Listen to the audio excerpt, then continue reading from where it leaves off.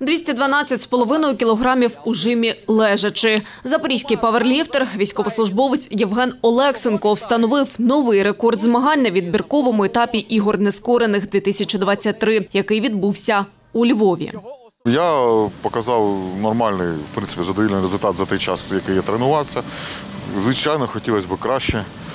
Рекорд змагань це, це рекорд змагань як в Україні, так і за кордоном, тому що 212,5 в цих іграх ще ніхто не жав. В моїй категорії було десь 6 людей, по-моєму. Да, 6. А взагалі по літингу брали участь ну, десь, не знаю, 50. В іграх нескорених Євген Олексенко бере участь 2017 року. Каже, хто саме з учасників національного відбору представлятиме Україну на міжнародних спортивних змаганнях Invictus Games у вересні в Дюссельдорфі, допоки невідомо. Щодо відбору, я не можу нічого сказати. Він ще буде через десь відомо в кінці місяця, може через 2-3 тижні приблизно. Тоді вже скажуть склад. Я тільки скажу, що буде 24 і Тайра, тому що Тайри дозволили, ну і вона пропустила через полон змагання 22-го року.